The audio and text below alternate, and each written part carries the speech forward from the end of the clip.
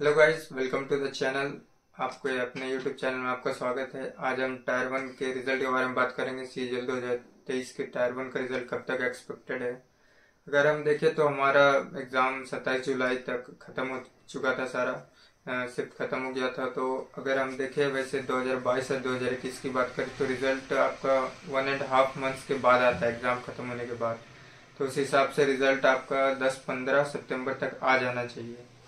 तो उसकी बात करेंगे तो इस हिसाब से मे बी आपको दिस वीक ज़्यादा चांसेस है नाइन्टी परसेंट चांसेस है दिस वीक या मंडे तक कंफर्म आ ही जाएगा, या नेक्स्ट वीक तो कंफर्म है। तो और एक सबसे पता हिंट लग सकता है कि कब तक आएगा। तो आप स्क्रीन में देख सकते हैं इधर कि वो न्यूज़ एक पेपर का कटिंग है, उसमें दिया हो कि ये हफ़्ता पे आ जाएगा आपका। उसमें दिया हुआ है कि दिस वीक एक्सपेक्टेड है कि टायर वन का रिज़ल्ट आ जाएगा।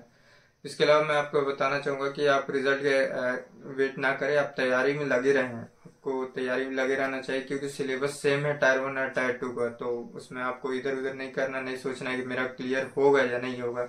तैयारी में लगे रहें, नहीं हुआ तो 2024 के लिए बहुत ही अच्छा होगा। तो इसलिए बस बताना चाहूँगा कि यही करें और फॉलो करते रहें। आपको जो कंसिस्टेंट रहना और कुछ नहीं करना है, उतना कटअप की चिंता ना करें क्या जगह नहीं होगा होगा, नहीं होगा। वो नहीं सोचना आपको, बस लगे रहना। सिलेबस सब सेम है, हो जाए तो बहुत अच्छा है।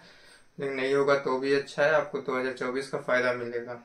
तो बस यही बताना चाह रहे थे कि रिज़ल्ट आने ही वाला है, हो सकता है कल परसों तक आ जाए या संडे मंडे ट्यूसडे को आ जाए।